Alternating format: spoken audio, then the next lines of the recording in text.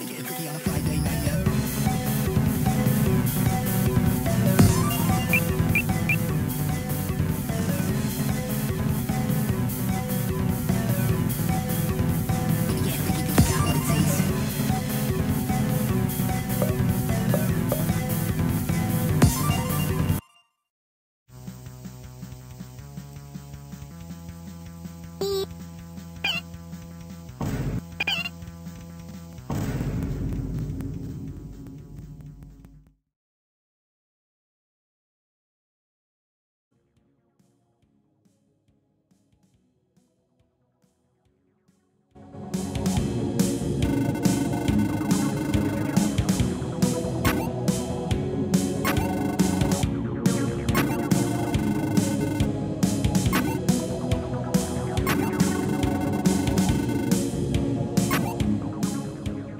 two, one.